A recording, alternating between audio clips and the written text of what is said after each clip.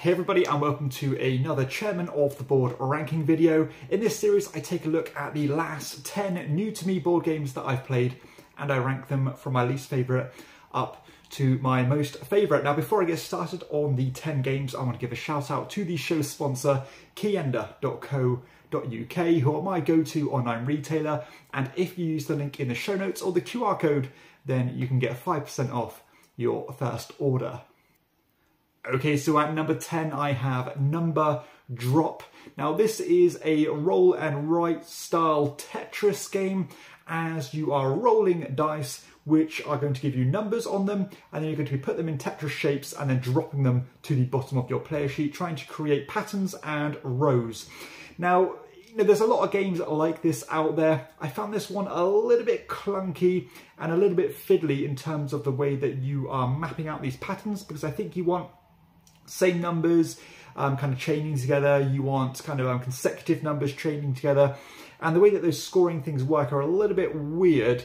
Um, I also thought some of the graphic design on some of the cards was a bit annoying because um, despite you playing in 2D, the actual artwork was 3D and it just kind of um, created a little bit of jarring in terms of um, just translating those cards over and the shapes that you can build. But other than that, it's completely pedestrian, standardized stuff that we've seen time and time again and ultimately it didn't really inspire me, so hence why Number Drop was at number 10. At number 9 I have Nautilus Island. Now this is a simple set collection style game with an almost time track style mechanism where you're jumping back and forth on this ship collecting cards uh, as you go. Kind of the further you go along, the more options you have and the more cards you can collect, but you'll go last next time. And there is this kind of tension into cashing these cards in for points um, to get additional bonuses, but you can lock yourself out of scoring different categories um, as well. So again, a kind of a mishmash of different set collection games that we've seen before. It works pretty well, and I did enjoy it. It's very snappy, it's quick. You know, you're looking at around 15 minutes to play this one. I think the biggest death knell on this one is the fact that it take, takes quite a lot to set up the game. There's a lot of cards in the game, lots of shuffling, lots of different piles and things. And ultimately that kind of hurts it because the effort you take to you know pack up and set up the game isn't quite proportionate to how long the game takes. So gameplay was fine and it has some little quirks that I enjoyed, but I don't think it was quite worth the setup because it was just a little bit too cumbersome. At number eight, I have Isla or Isla. Uh, this is an upcoming Kickstarter game that I think is actually um, should be on Kickstarter at the moment. Actually, uh, this one is another roll and write style game where you are trying to explore uh, this island as much as you can.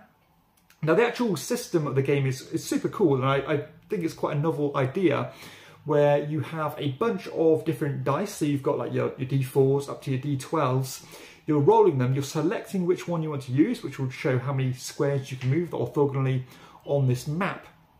However, when you use a certain die, that die is going to be exhausted until you hit this kind of refresh point to let you use it uh, again. Um, other than that, you are trying to again cover each square as much as you can because each unexplored square is going to be negative points. Uh, you're trying to collect these little tokens and cash them in against these contracts. Um, and that's pretty much the gist um, of the game. You know, another 15 minute game or so. Um, it's pretty smooth. I think it could have been smoother in terms of having a bit more of a uniform turn structure, which I have covered in my review. Um, so, you know, all in all, it's it's a decent roll and write game. I don't think it's terribly inspiring again, uh, but it does what it does quite well. And I think it, that core system of that dice refresh mechanism has a ton of potential and I think the design team should really focus on building a game around that. So check out my review and of course check out the Kickstarter campaign if this one appeals to you. At number seven, I have Hooky. Now this is a competitive deduction word game where you are trying to work out uh, the letters that other players have behind their screens, as well as trying to work out three hooky letters which are not in the mix uh, at all. And you're going to be asking questions to your opponents in like a, a Wordle-like fashion where you'll provide a five-letter word. They'll tell you how many letters they have behind their screen that are within uh, that word. And of course, you're going to try and work out which letters they have. And what I like about this game is the fact that you can backtrack or kind of retrofit those letters that you've asked on previous questions as you get more of the puzzle uh, together. It's a very satisfying, fun, and engaging kind of practice, uh, I suppose.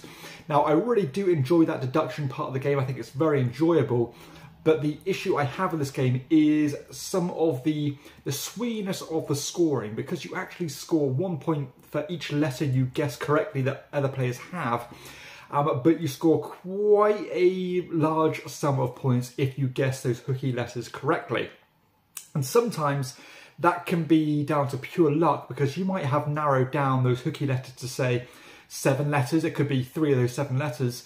Um, your opponent does the same thing. They take a pure shot in the dark and guess three of them correctly. You guess them all incorrectly, therefore they've won through no better deduction than what you've done.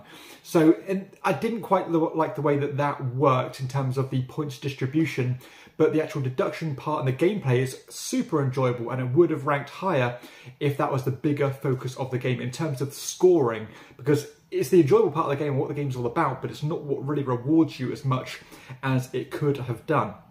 Um, so yeah, I like this one. It could have ranked higher if it wasn't for that reason, but as an activity rather than the actual gamey side of it, it's a fantastic um, experience. So that is uh, Hooky at number seven. At number six, I have Djinn. So back to a traditional style uh, Euro here. This is quite a simple one where you are navigating this map, um, triggering actions, collecting different resources, and essentially trying to battle these gins and capture them in bottles. Now I have reviewed this one and kind of the main talking points that I mentioned were that there's no real distinct mechanism um, about it. It really is just a mishmash of collecting different things. Um, and I also thought it lacked a certain kind of longevity or a reason to come back to this one. But I did enjoy it. I think it's um it's it's a good process. No, it's a nice clean um it's clean mechanically. Some good player interaction. Um, I like that tangible goal of trying to collect the gins and bottle them up um, as efficiently as you can. It really is that kind of an optimization puzzle.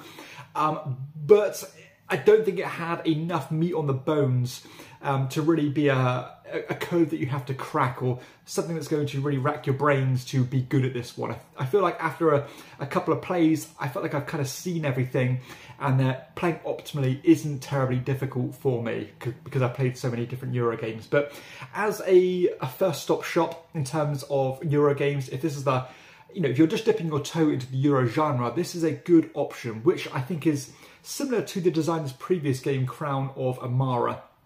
So I think this one's going to have its audience if you kind of dabble with Eurogames, but Eurogames aren't your main focus because I think you've kind of seen everything here and you're going to suss everything out pretty quickly. At number five, I have The Duke.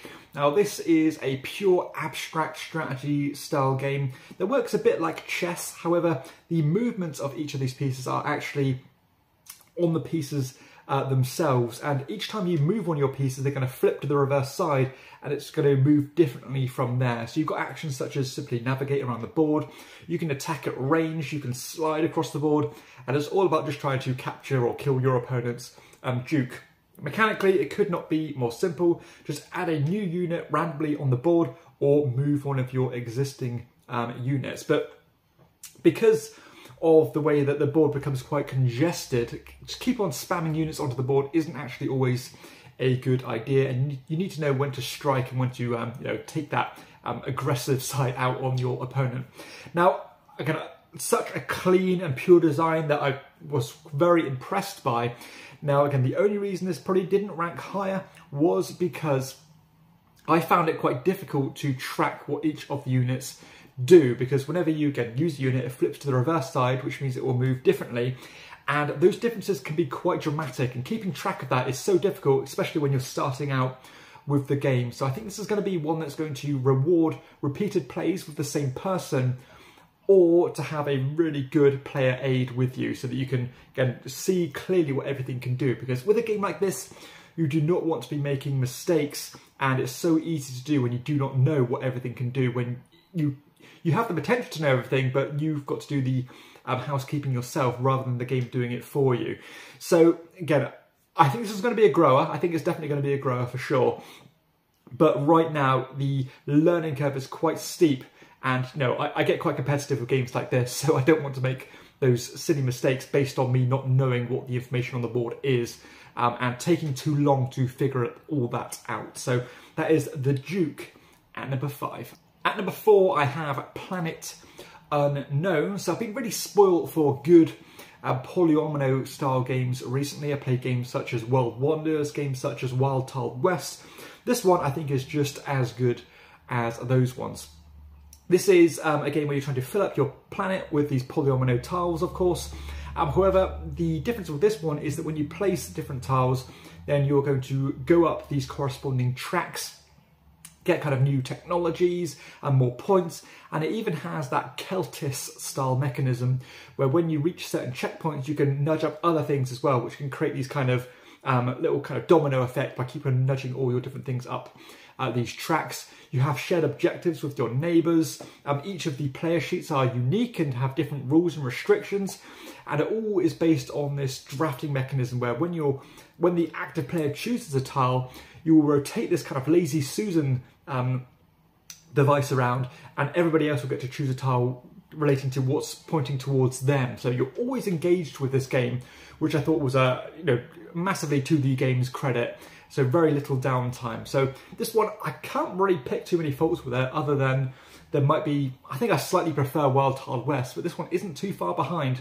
And um, yeah, even being a, sci-fi theme, which traditionally I don't like, um, this one works fantastically. And it also has this one additional um, mechanism that I really did like, where certain tiles would let you move this little kind of space buggy around the map.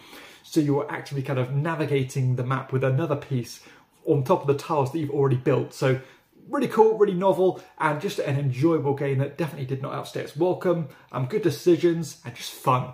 So that was Planet Unknown at number four. At number three, I have Sky Team. Now, this was a game that I was not expecting to like at all because, you know, nine times out of ten, I don't enjoy uh, co-ops.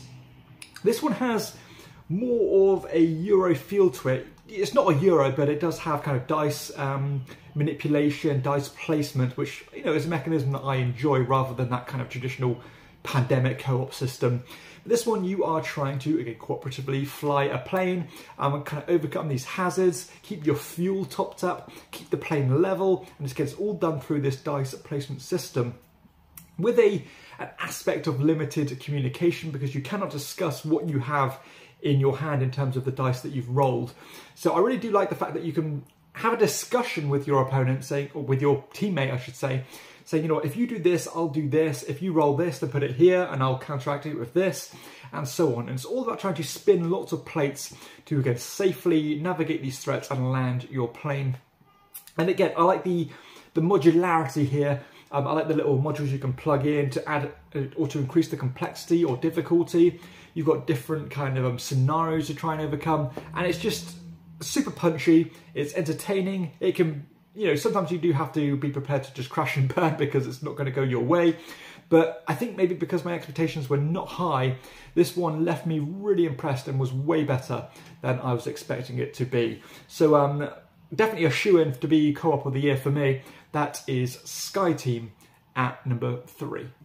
At number two, I have The Wandering uh, Towers. Now, this is a Kramer and Kiesling, uh, kind of a racing game, but with a few twists. Um, it's basically a kids' game mechanically, but it definitely has enough going on here, or has a, a gimmick or two to keep more seasoned gamers entertained because I think some of the concepts here are quite novel and um, are just gonna are gonna amuse you. So essentially what you're doing is you have a, a set amount of wizards and you are trying to deposit them in this kind of wizard's tower. Um, however, when you play things, you can either move your wizards or you can move these moving towers that they're stood on. And those towers stack on top of each other, almost in like a, a camel up mechanism where you can piggyback and carry things, you can trap other people's pieces um, and carry them maybe inadvertently. Uh, it even manages to um, handle the memory aspect of the game well because if your pieces get trapped, you're not allowed to check where they are.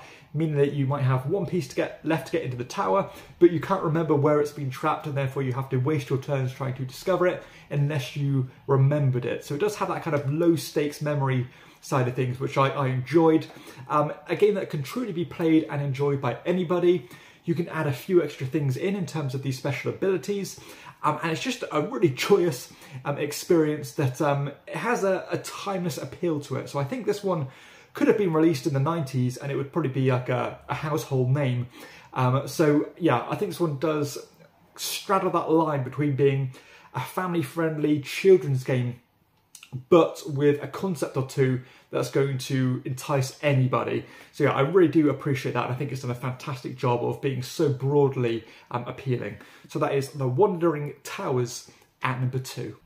And finally, at number one, and the only game with a definitive chairman's uh, commendation at this episode is Raise. Now, I'll be highly surprised if you guys are aware of this one because it's got very little um, publicity, very little buzz. Um, I can't even remember why this one came onto my radar several years ago. Um, I was waiting for an English copy to come out, but I ended up having to um, buy a, a, foreign language copy. But I'm super glad I did because it's all language independent and the rules are super simple. But this is a a kind of um, commodity speculation, a bluffing and bidding style game where you are trying to collect these point cards by playing cards in your hand. However, these cards in your hand the value of them or the strength of them is determined by dice rolls.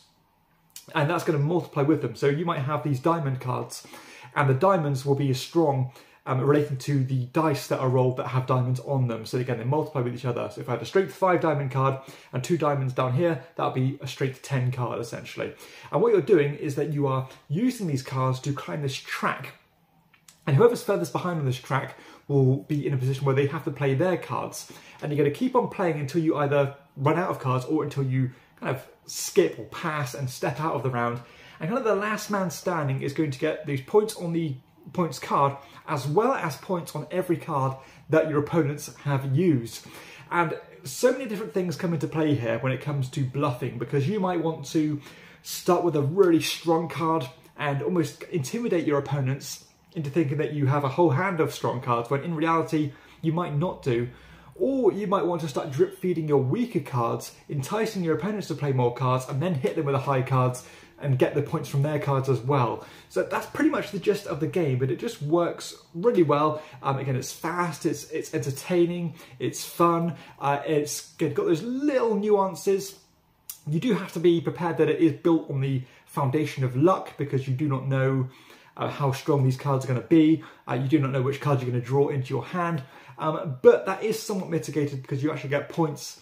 Um, you get points um, corresponding to the cards left in your hand at the end. So, an extra decision of do I want to uh, keep these cards in my hand and guarantee myself these points, or do I want to use it as a powerful um, playing piece in order to win the actual round and get more points? So, all about that gamble.